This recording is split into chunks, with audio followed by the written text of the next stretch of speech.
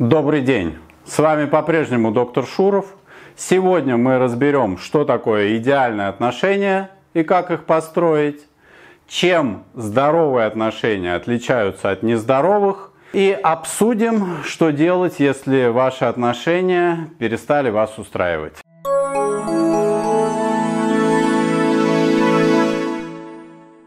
Для вас мы ведем канал на YouTube, пишем статьи на Яндекс.Дзене. Милости прошу подписываться, задавать интересные темы. Также напоминаю про телеграм-канал, там много интересного, что не входит в YouTube. Напоминаю про книги «Моя», над пропастью не ржи, я думаю, вы уже запомнили. И моей супруги «Не перегори», про эмоциональное выгорание. Также заказывайте, пишите свои отзывы. Обратная связь от вас очень важна. Когда мы говорим об идеальных отношениях, то у многих родителей возникают сложности со временем, которые дети проводят за компьютером. И здесь две крайности. Одни чрезвычайно контролируют, не давая детям заниматься интересным для них делом. Другие, наоборот, пускают на самотек и не контролируют ничего. Детская онлайн-школа Geek School предлагает решение этой проблемы.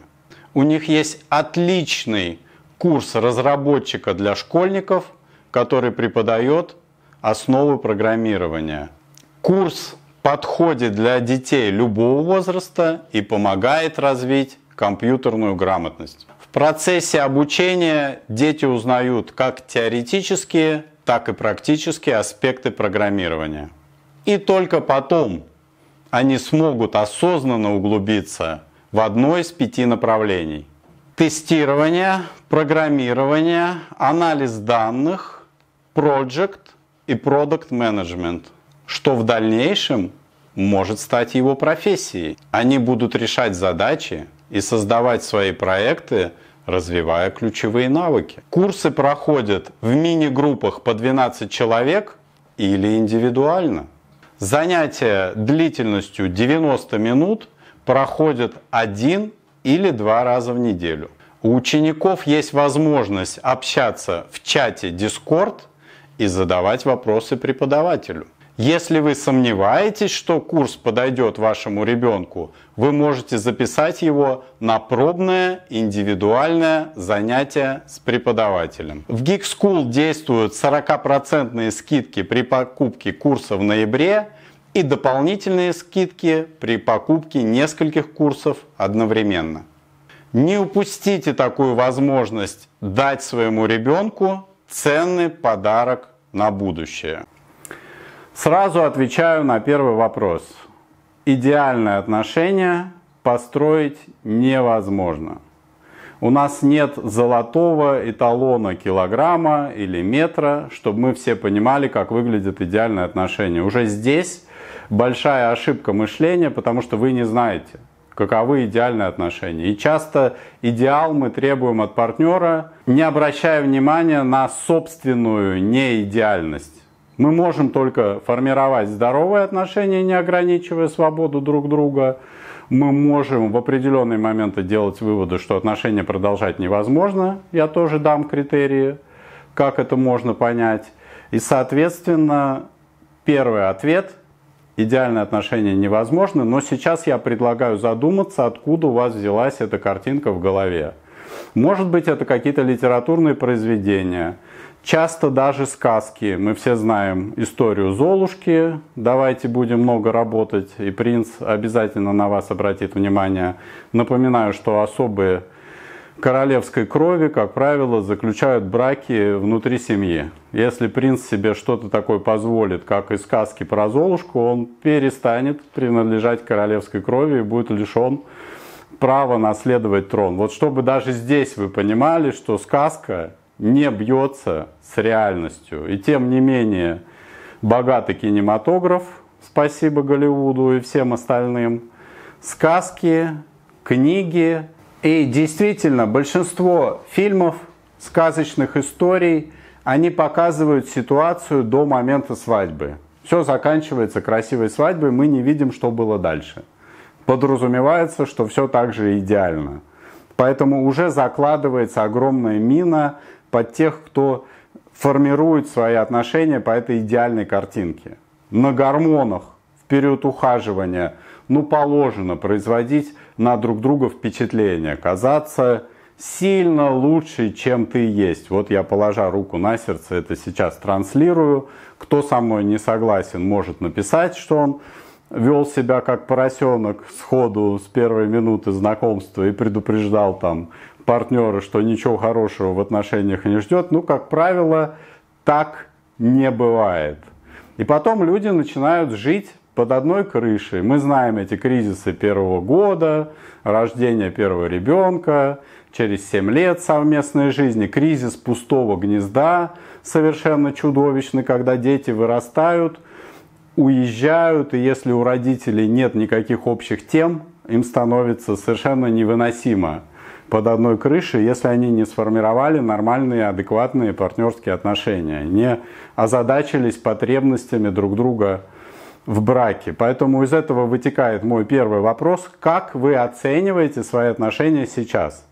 Романтиков, которые только начали отношения, я все-таки призываю не напрягаться, у вас все хорошо, я очень за вас рад, но ну, вы должны досмотреть видео, чтобы э, учесть определенные рекомендации, которые я дам. А людей, которые в отношениях хотя бы год живут совместно, Пишите про свои кризисы, это тоже очень интересно. Возможно, я сниму отдельное видео, где мы это обсудим. Как всегда, вот приглашение на интервью. Кто прожил очень долго, счастлив, готов делиться секретами своей семейной жизни, было бы интересно обсудить.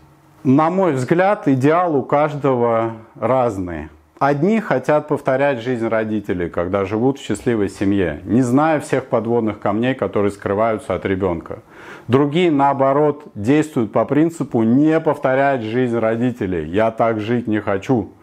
Меняют местность, иногда уезжают в другую страну в надежде от себя убежать. Но вы должны понимать, что основные убеждения закладываются как раз в детском возрасте, и первым значимым примером для нас являются родители. Как выглядит любовь, как нужно вести себя в семье, как выглядит забота, внимание. Я многим пациентам на семейной психотерапии просто прошу дать, что для них определение любви, как оно выглядит – как партнер должен любовь выражать. И здесь тоже очень важное мое наблюдение – когда люди приходят с запросом на проблемы в семейных отношениях, вот все время требования направлены на другого. Поменяйте другого, чтобы он меньше пил, больше мне внимания уделял, дарил там цветы пять раз э, в месяц, не забывал мое день рождения, хотя я не помню, какой-то юморист дал определение семьи, что это союз двух людей, где один не помнит даты, крайне важные для другого. Поэтому, ну, такое бывает. Да, особенно мы должны понимать, что есть женские ожидания в браке, где важна значимость, даже в фильмах иногда это показывают, когда девушка спрашивает, а ты там помнишь, когда мы первый раз поцеловались, или когда ты мне предложение сделал. Вот такие тесты проводит на память своему партнеру. Но мужской мозг устроен немножечко по-другому, он совершенно спокойно может это не помнить, а может помнить другие детали, которые уже не помнит девушка. Это не должно быть предметом для каких-то споров, на мой взгляд. Я помню, День рождения моей жены, 20 июля. Разбуди ночью, я вспомню. Для меня это важно. На мой взгляд, вера в идеальную любовь исключительно вредное убеждение, потому что любой рост, любые изменения возможны только из кризиса, из выхода из зоны комфорта. Если, как говорится, молочные реки, кисельные берега все идеально, ситуация консервируется. Эта история не про развитие, не про движение вперед, не про синергию, когда в семье люди друг друга дополняют, э, помогают переживать кризисные моменты, э, семейные кризисы, внешние кризисы. Семья это, да, в идеале тихая гавань, но даже здесь есть место отстаиванию собственных потребностей. На мой взгляд, все-таки это место, где честно говорят о проблемах. Если какая-то потребность не удовлетворена, не хватает эмоций, не в виде претензий это предъявлять, вот ты мне не дал. Это голодная, жадная пасть, куда все время надо что-то подкладывать, тогда тебя будут принимать. А в виде я послания, вот я переживаю, у нас давно не было того-то.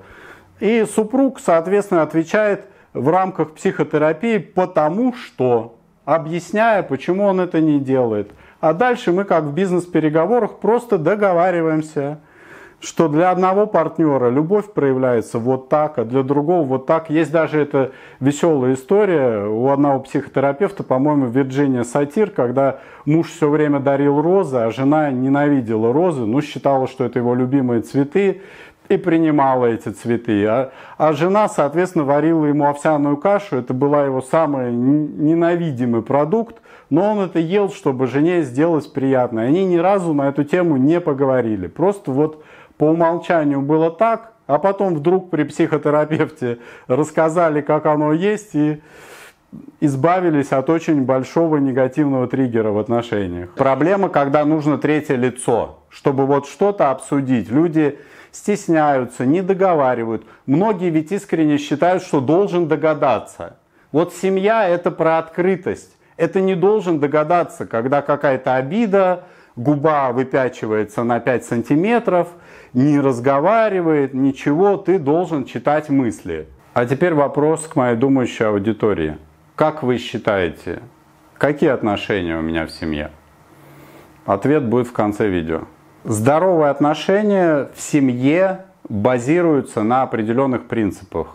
Безопасность, принятие, доверие, общие цели, следование договоренностям в рамках общих целей, открытость, готовность обсуждать любые противоречия сразу, а не накапливать их. Человек не должен совершать физическое, психологическое, экономическое насилие в семье. Семья – это тихая гавань, где мы чувствуем себя комфортно, что бы ни происходило вовне. Это место максимального эмоционального расслабления. Взаимоуважение и доверие подразумевается, что отношения выстраиваются в равной позиции. Взрослые-взрослые – Никто в семье не доминирует, не тянет на себя одеяло. Но вместе с тем, если возникает какая-то проблема, и один может решить ее лучше, то в рамках доверия второй ему делегирует возможность эту проблему решать и всячески помогает. Но отношения, повторюсь, это очень важно, выстраиваются на равных. Я очень часто на консультации вижу, когда мужчина в позиции родителя или взрослого, и девушка в позиции ребенка все время капризничает, какие-то подарки нужны. Это отношения не на равных, не долгосрочные, рано или поздно устанут обе стороны. Очень важный момент – это открытость. Семейная жизнь очень долгая. Возникают неудовлетворенные потребности, эмоциональные проблемы, может быть даже проблемы со здоровьем – очень важно, чтобы это все открыто в моменте обсуждалось. Не надо ничего накапливать. Не надо там обидами наталкивать на мысль, что что-то не так, и второй партнер должен догадаться. Вот я призываю в моменте, если что-то не так, сразу давать обратную связь и это обсуждать. Это позволяет избежать очень многих проблем. Вот так в моей семье. Если мне что-то не нравится, я не буду корчить хорошую мину при плохой игре. Я сразу говорю, что, на мой взгляд, вот это неприемлемо, давайте менять. И ни разу еще никто не сказал, зачем ты испортил праздник или чего-то. Мы садимся, обсуждаем и приходим к консенсусу. Для развития динамики семьи очень важны общие цели. Кто-то строит карьеру, кто-то занимается семьей – хобби, совместные поездки. Вообще очень желательно иметь план на жизнь. На день, на месяц, на год, на десятилетие, чтобы этого плана придерживаться. Причем я всегда людям говорю, ну запланируйте максимум, если ситуация идеальная, минимум, э, то, почему вы будете считать, что все успешно, хорошо, ну где-то среднее получится – и отлично, можно будет переходить к следующему этапу. Но планы нужны, это динамика, это развитие, потому что то, что не развивается, не движется вперед, законсервироваться невозможно, поэтому будет деградация отношений, будет бесконечный день сурка. И, разумеется, принятие, возвращаемся к истории про идеал, мы не идеальны. Действительно, партнер может заболеть, где-то что-то неудачно сделать, может быть, потратить денег больше, чем планировалось. Это все допустимо. Если картина мира шаблонная, вот идеал, всегда должен поступать так, как я хочу, ну эти отношения обречены. Если мы понимаем, что все может случиться, но мы все равно семья, для нас максимально важно совместное проживание этой жизни – на многие вещи закрываешь глаза, относишься спокойно, глядишь и лишний раз тарелку за собой помоешь без скандала или еще что-то сделаешь. Это не будет проблемой. Ты ценишь партнера, принимаешь его, любишь со всеми недостатками и, соответственно, вправе рассчитывать на такое же отношение к себе. Эти пять пунктов здоровых отношений я считаю самыми важными, базовыми. Жду от вас обратную связь, сколько пунктов соблюдаются в ваших отношениях. И поделитесь, что не соблюдается и чего вам не хватает. Есть базовое ощущение счастья и удовлетворенности, когда в семье тебе хочется присутствовать, тебе комфортно. Да, могут быть споры, есть очень эмоциональные семьи, где конфликт выступает как прелюдия перед очень хорошим сексом. Но тем не менее люди развиваются, функционируют, не попадают в стрессовые ситуации. Дети растут здоровые, хорошо учатся. И семья это вот как единый организм. Ты понимаешь, что они друг за друга, они друг друга поддерживают, они все семейные бури переживают. Конфликты могут быть? Могут. Претензии могут быть? Могут но не из позиции «ты мне должен», «обязан», «давай меняйся». Опять мы говорим про «я» сообщение. Когда ты делаешь что-то, то-то, я страдаю, или мне это не нравится, для меня это неприемлемо. Садимся, обсуждаем и договариваемся. Следом очень два важных замечания от доктора Шурова. Во-первых, вы должны быть готовы, что партнер не захочет меняться именно в рамках, как вы хотите – возвращаемся к идеальным отношениям. Поэтому у него должна быть определенная амплитуда действий, которая тоже результат договоренности. И второй момент, это вот вы должны быть готовы к отказу. Если человек объяснит это мотивированно, почему он не может это сделать, ну где-то, значит, надо подождать или взять ответственность и нагрузку на себя. Это нормально. Вы сели, честно поговорили, дальше идет развитие, вы уже поменялись, мир и покой в семье. Если это постоянные скандалы, претензии, кто там помоет тарелку, кто вынесет мусор, не так посмотрела, не дай бог ревности, ограничения, что с друзьями нельзя, к подругам нельзя, вот это бесконечное притязание на другого, поглощение другого, ты мне обязан, ты должен, там уже не поймешь, где причина, где повод – если причина общая неудовлетворенность в семье, поводов будет миллион. Я в прошлом месте жил, там соседи ругались каждый день. По любому поводу. Уже если вечером тихо, то думаешь, наверное, они друг друга убили. Мебель не летает.